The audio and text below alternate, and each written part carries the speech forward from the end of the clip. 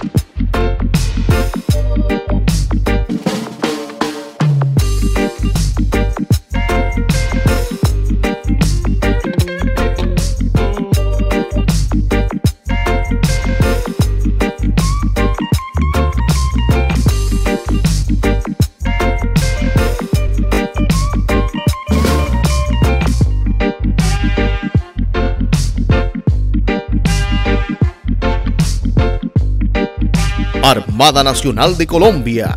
Protegemos el azul de la bandera.